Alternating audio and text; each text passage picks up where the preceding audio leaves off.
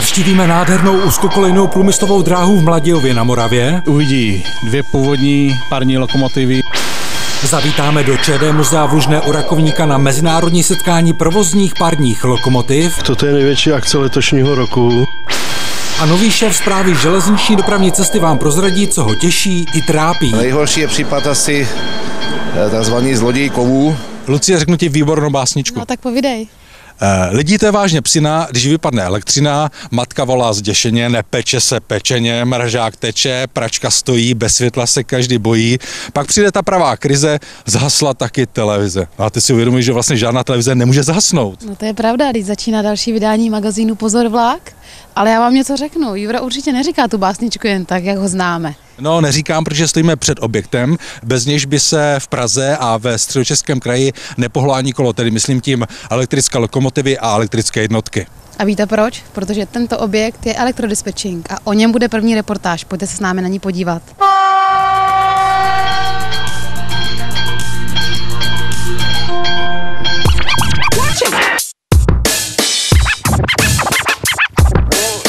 Takže vás vítám u bývalého objektu trakční měnírny z dob Františka Křížíka. O stavbě tohoto objektu se rozhodlo v roku 1924 a vlastní stavba, která byla spojena s elektrifikací Pražské dráhy, byla zahájena výkopem Františkem Křížíkem pro trakční stožár této stavby v roce 1926. Tento objekt, jeho stavba trvala jeden rok a v roce 27 byl uveden do provozu. Byla to trakční měnírna, která měla dva agregáty na 750 V zapojené do série a napájení tehdejší trakce eh, bylo 1,5 kV tedy. Asi tušíte, že jsme nepřišli vzpomínat na historii. Tento technologický objekt, který má název Křenovka, dnes totiž slouží jako elektrodispatching pro Prahu a středočeský kraj. Nacházíme se na sále elektrodispečinku zprávy železniční dopravní cesty oblastního ředitelství Praha. Před vámi vidíte celkový pohled na oblast řízenou třemi dispečery. Elektrodispečer 2 řídí oblast Praha Beroun, Praha Benešov. Elektrodispečer 1 řídí oblast neboli úsek Praha Kolín, Praha Lisa nad, Rab, nad Labem, Praha Vraňany. Elektrodispečer 3 řídí úsek e, z Čáslaví přes Kolín, Nymburk až do Mělníka, kde končíme. Dispečeři řídí celkově rozvinutou délku trakčního vedení o délce zhruba 1800 km. Dále řídí 14 napájecích stanic, 4 spínací stanice a následně dvě napájecí stanice pro střídavou soustavu. I když to vypadá jako pohodová práce dispečerů, opak je pravdou. Dispečeři totiž nejenom, že dohlížejí na danou situaci, ale přímo ovládají jednotlivé měnírny, transformovny a tak dále. Stačí tedy jedna chyba a zařízení může klidně i vyhořet a v tu chvíli vlaky stojí. Každý elektrodispečer má před sebou tři panely, na kterých vidí zobrazení eh, jednotlivých napájecích stanic. Eh, Zde vidíte napájecí stanice Rostoklaty, Běchovice, Balabenka. Eh, Ty barvičky, co vidíte před sebou, modrou, hnědou, červenou, jsou zobrazeny jednotlivé koleje. Modrá barvička je kolej číslo 2, hnědá barva kolej číslo 0 a červená barva kolej číslo 1. Zde vidí aktuální stavy napájení trakčního vedení z těch jednotlivých napájecích stanic. Na panelu přede mnou vidíme zobrazení napájecí stanice Pečky, kde zelený, zelený ovládací prvky znamenají zapnutý ovládací prvek, bílej ovládací prvek znamená vypnutý. Dvojší pečka neboli kolečko a kolečko znamenají zapnutou nebo vypnutou vazbu napáječů proti sousední napájecí stanici. Velkoplošné zobrazovače slouží pro celkový a rychlej přehled stavu napájení zabezpečovacího zařízení.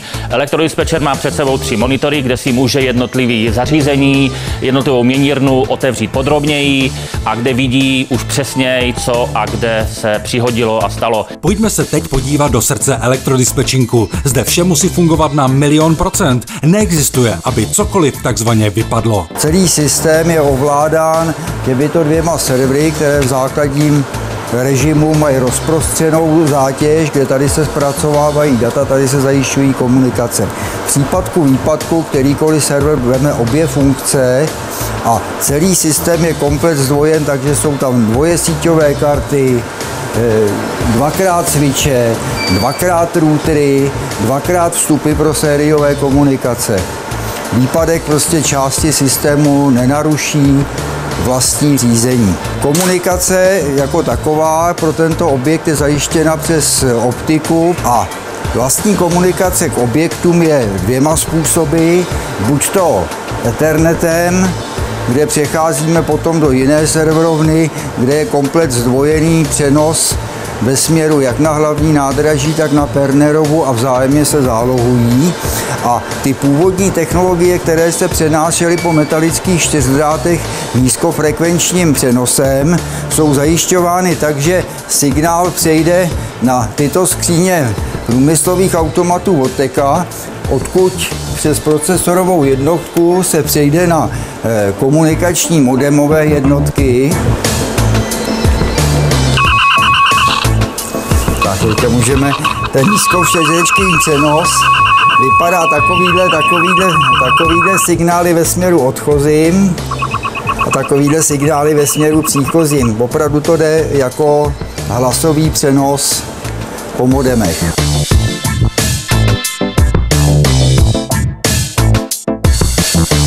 Nyní vám předvedeme simulaci ztráty výpadku napětí v troleji mezi dvouma napájecíma stanicema, mezi napájecí stanicí Chuchle, mezi napájecí stanicí Karštejn. Došlo ke změně barvy obrázku, místo červené barvy je bílá barva, což znamená, že celý úsek je bez napětí.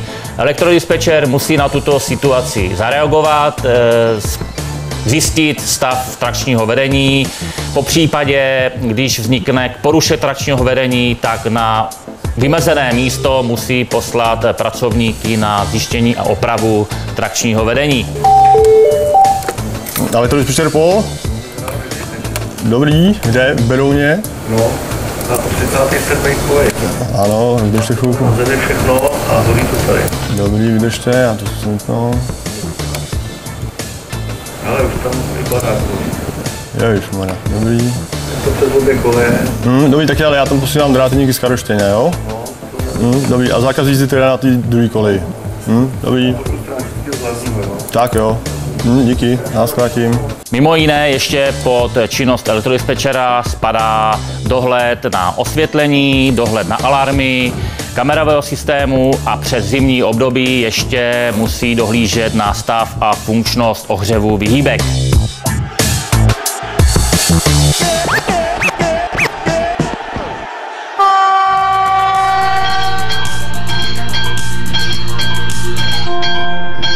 Co se událo na železnici? Pokud se ptáte, kde skončil bývalý generální ředitel zprávy železniční dopravní cesty Jiří Kolář, pak vězte, že byl jmenován novým šéfem drážního úřadu. Jde o nejmocnější instituci na železnici, která rozhoduje o licencích pro dopravce, schvaluje infrastrukturu a také nová kolejová vozidla. České dráhy uzavřely kontrakt na dodávku 14 jednotek škodováckých Regio Panterů v úpravě pro vnitrostátní rychlíky. Budou vyrobeny do roku 2016 za 2,6 miliardy korun. Na rozdíl od regionální verze budou mít jedny nástupní dvoukřídlé dveře, plánuje se dětská sekce a vybaveny budou komfortními sedačkami pro dálkovou dopravu. Víte, že Češi v průměru cestují vlakem 17krát za rok? Zdá se vám to hodně anebo málo? Oproti Slovensku je to hodně, tam cestují pouze 8krát za rok. Ale na Švýcary nemáme ani náhodou. Jejich železnice je tak propracovaná a pohodlná, že ji místní využijí v průměru 50krát za rok.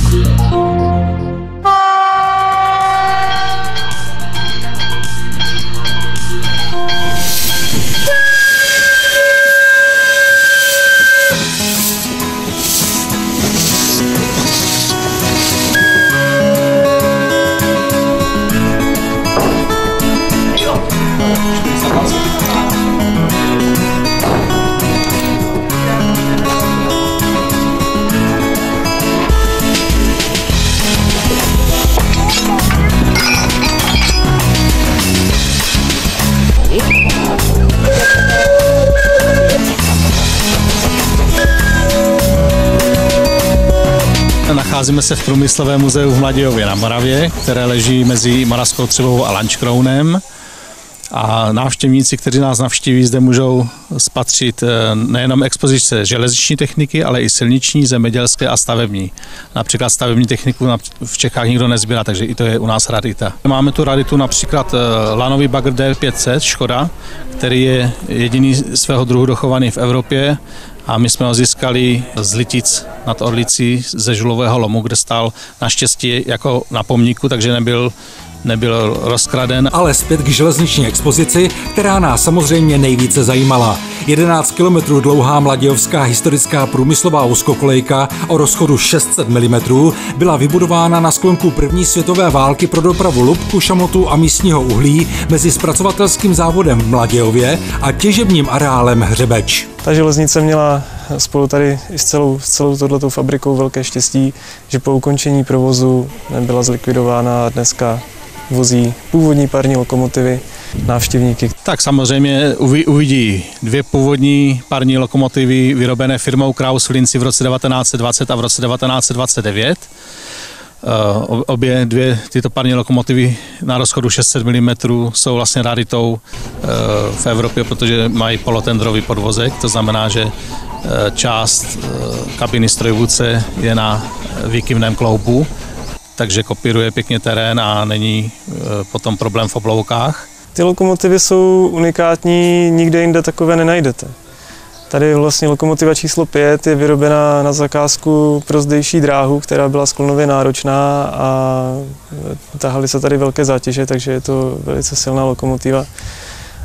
Byla vyrobena na základě zkušeností s přestavbou lokomotivy číslo 1, která původně byla vyrobena pro rakouskou armádu a byla do materského závodu v roce 1920 poslána na přestavbu a v té podobě, v jaké se vrátila v tom roce 1920, máme do dneška.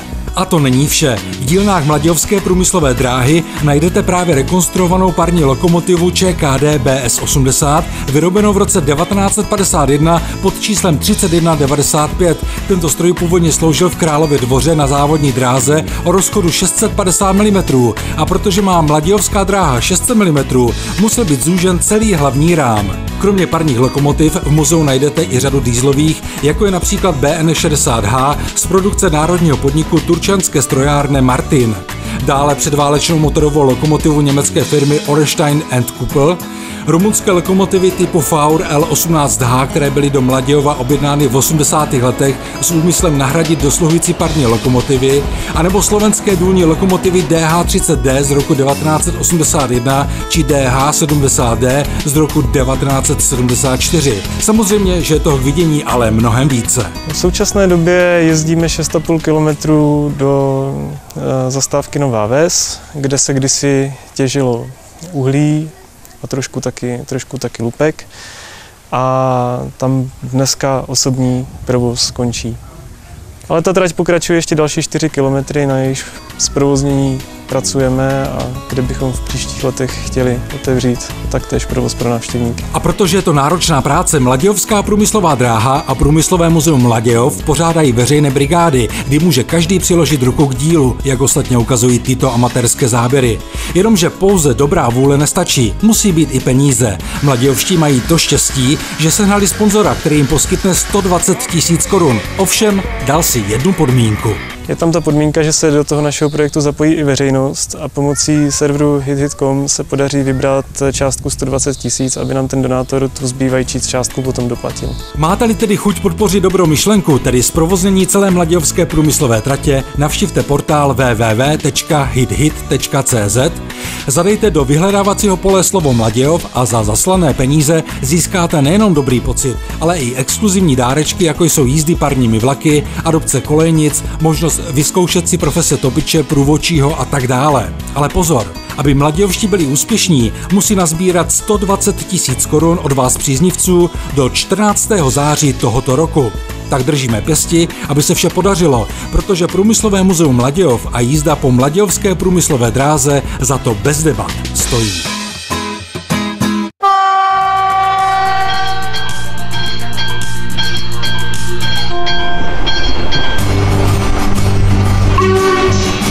Vítejte v Lužné u Rakovníka, kde právě dorazil mimořádný parní vlak tažený slovenským Albatrosem 498-104. A vůbec bylo v Lužné před několika týdny pořádně rušno. Kam jste se podívali, všude byla pára a charakteristicky štiplavý dým. Aby také ne, když se zde konalo mezinárodní setkání provozních parních lokomotiv. Jde o akci, která se velmi podobá té, kterou jsme odvysílali v minulém vydání Pozor vlak. Skáni příznivci vědí, že šlo o slovenské parní setkání Rendes 2014. To v Lužné ale bylo obsazeno jinými typy parních lokomotiv. Toto je největší akce letošního roku a obnáší sjezd eh, osmi parních lokomotiv, které jsou plně provozu schopné. Samozřejmě součástí programu jsou přehlídky na točně, eh, pak jsou krátké vlaky v okolí Lužné, jsou jeden třeba do Žadce a do Řevničova a součástí je také noční fotografování. Uznejte, že ty noční záběry jsou opravdu úchvatné. Vás ale asi bude nejvíce zajímat defilé na točně. Než se ale ty nádherné páry za komentáře přednosti depa historických vozidel Jindřicha Rachoty předvedou, předchází tomu hodiny a hodiny práce, kdy se realizační týmy se svými lokomotivami doslova mazlí. Takže vážení přátelé, přehlídka začíná. Najíždí nám první provozní lokomotiva českých dráh, je to nákladní lokomotiva řady 534 0323. Tyto lokomotivy byly dodávány po roce 1945 jak Škodovými závody v Plzni, tak ČKD Praha pro tehdy poškozené národní hospodářství. A lokomotivy se osvědčily, akorát samozřejmě pro topiče to bylo docela náročné, proto se jim přezdívalo kremák. A připravuje se lokomotiva řady 354-7, jedna z našich nejstarších provozních lokomotiv. Lokomotivy této řady původně rakou, rakouských státních drah. Lokomotivy byly ve 20. a 30. Eh, letech rekonstruovány a byly, byly sjednoceny parní stroje a sjednoceny kotle.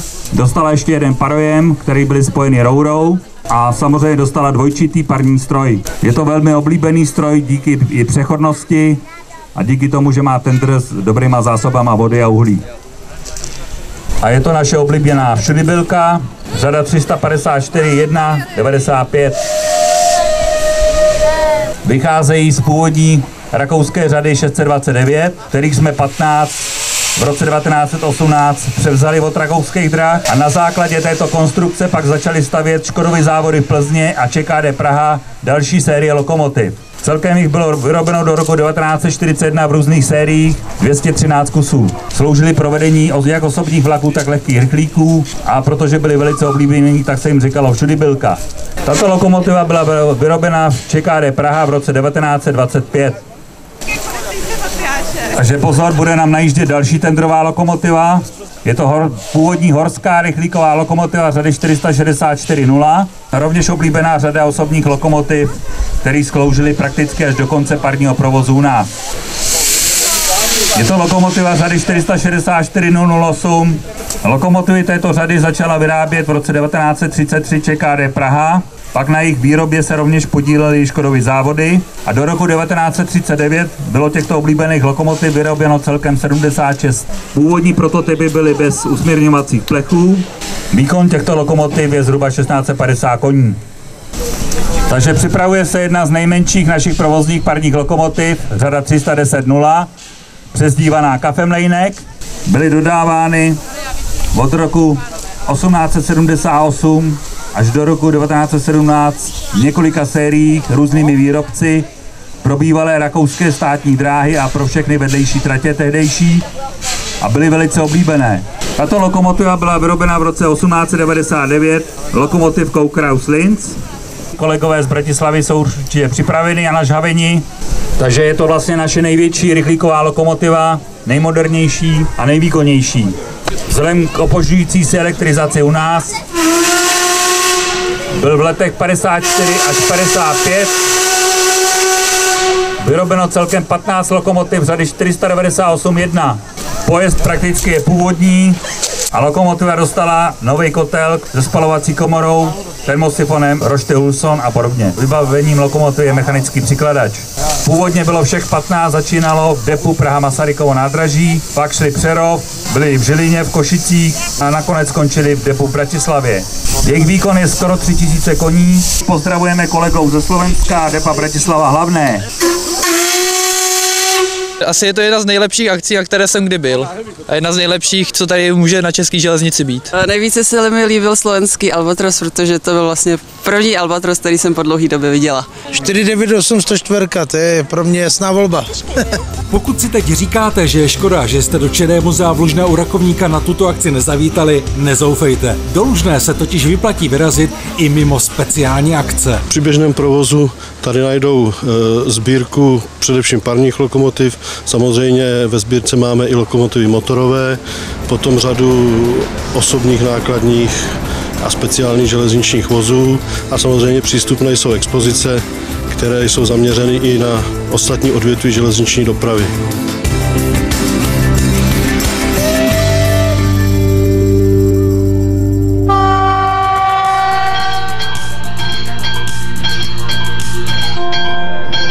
Pozitivní i negativní názor na českou železnici se dnes dozvíme od nového šéfa zprávy železniční dopravní cesty Pavla Surého v rámci rubriky 2 plus 30. A dejme si na úvod to pozitivní. Co vás tedy těší v poslední době na české železnici? Na české železnici se mi v poslední době líbí rozšiřování eh, železniční dopravy a integrovaných dopravních systémů a zavádění nových zastávek. Ať už jsou v Pražském uzlu nebo po celé republice, Můžu uvést, v nejbližší době budeme otevírat zastávky pod Baba, Beneč, na Moravě, z Dojmo nemocnice. A protože život není jen zalit sluncem, podíváme se i na to, co Pavla Surého na železnici štve. Nejhorší je případ asi eh, tzv. zloděj kovů, protože na železnici řádí neskutečným způsobem. Není téměř den, kdyby se nám byly ztratit nějaké propojky, prostě kovové součásti, což pak má za následek eh, mimořádnosti v dopravě, buď to se zastaví doprava úplně, nebo jsou mimořádnosti ve spoždění vlaku, anebo v tom, že vlaky musí jezdit za mimořádných dopravních podmínek. A nakonec si tu 30 sekund pro nového šéfa SŽDC.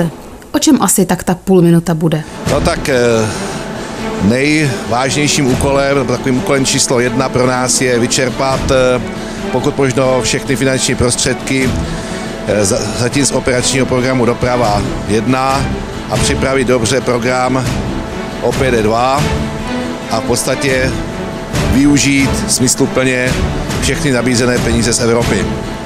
Eh, zatím se nám to daří a doufejme, že se nám to bude dařit do budoucnosti.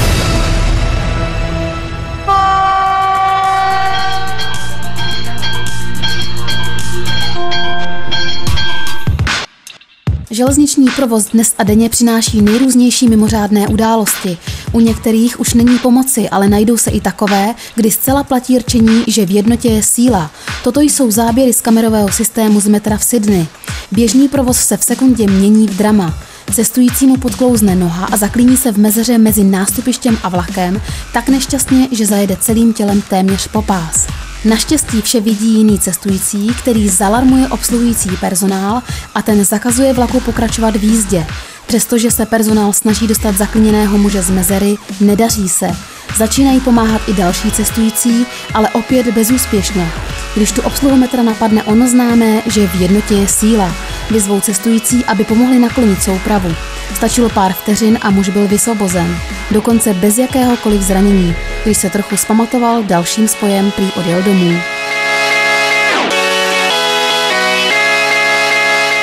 Řeknu vám lidi, že miluji ty příběhy se šťastným koncem, takzvaným happy endem. Co pak ty děláš tak vysoko? No, jednou si užívám, že jsem vyšší. Vadí ti to, že? Ani ne, ale teď bude jeden happy end ještě. Budeme rozdávat tři trika magazínu Pozor vlak. Minule jsme se vás ptali na to, kolik lidí navštívilo ostravský Czech Rail Days 2014. Lucie, ví správnou odpověď? Je to 6222 lidí. A kdo pak vyhrává? A vyhrává Jiří Barteš ze Židlochovic, Lubomír Vavrek z Hanušovic nad Toplou, David Lískovský z Karviné Nového města. Všem gratulujeme, to je pro dnešek vše a... Mějte se, na viděnou. A hop.